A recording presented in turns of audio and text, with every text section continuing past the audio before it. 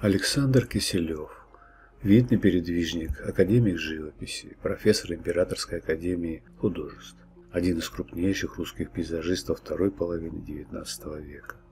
С исключительным мастерством художник отображал русскую, малороссийскую природу, величественные кавказские виды, наполненные лирическим настроением, чувством и пониманием особенностей ландшафта того или иного края хранящиеся во многих отечественных музеях, крупных частных коллекциях, его пейзажи всегда пользовались заслуженной популярностью в широких общественных кругах.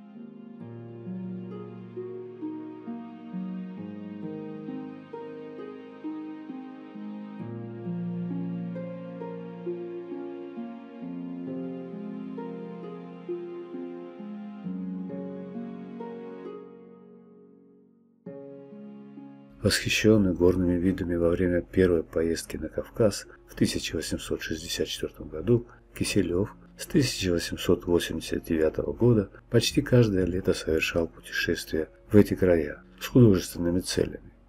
В 1890 году он купил участок земли вблизи Туапсе, где до 1910 года жил каждое лето на своей даче, отправляясь отсюда в разные уголки Кавказа.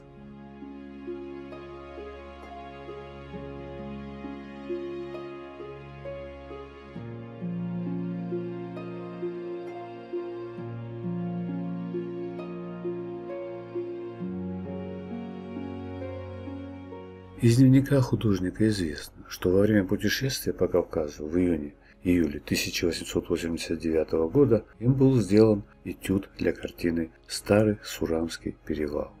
Далее в дневнике есть запись от 18 января 1891 года о начале работы над картиной и окончании ее 22 февраля 1891 года.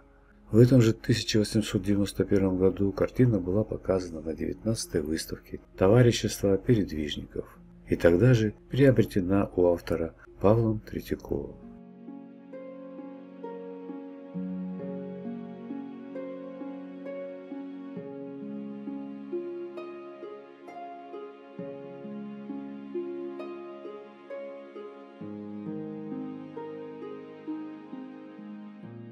В картине «Старый Сурамский перевал» художник создает суровый и величественный образ древних Кавказских гор со снежными вершинами, окутанными дымкой облаков и глубокими темными ущельями. Неожиданно возникает крохотный, но хорошо заметный среди громады гор поезд с весело летящим из труб серебристым дымом, чащийся к розовато-полевому закатному небу, примета современной живописи.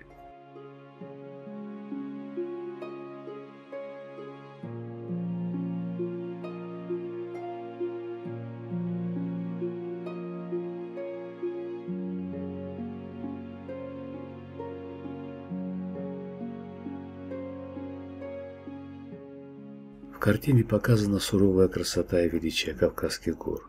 Здесь точный выразителен рисунок, хорошо переданы причудливые очертания гор. Кисть художника мастерски передала движение облаков, словно ползущих по склонам неприступных гор и кажущихся на их фоне воздушными и легкими. Сдержанный колорит картины, синие горы и серебристо-серые облака соответствуют лаконичному содержанию произведения.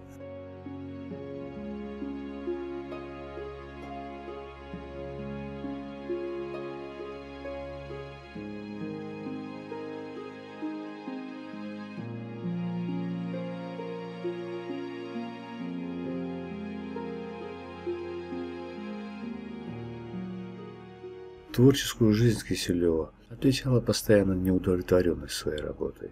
Она была порукой профессионального роста художника. Репин говорил о Киселеве. Он постоянно шел вперед, постоянно учился, освежался живой действительностью. Образованный недюжинно художник и в искусстве устроил себе правильный научный метод. Был и тут строго логичен и прогрессивен.